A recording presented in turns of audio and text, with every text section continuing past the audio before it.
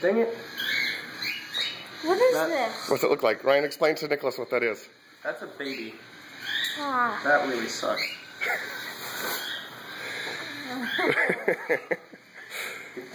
Come here. you don't want to discuss this? whose is it? well, it's mine, and it happens to be in mom's belly, so.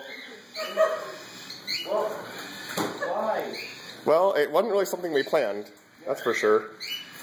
But if you really want the whole uh, biological explanation of what exactly happened, I'll be happy to give it to you. No, I was a bad from the beginning. Huh? Why? Oh my god, you guys are retarded. you were what? You're retarded.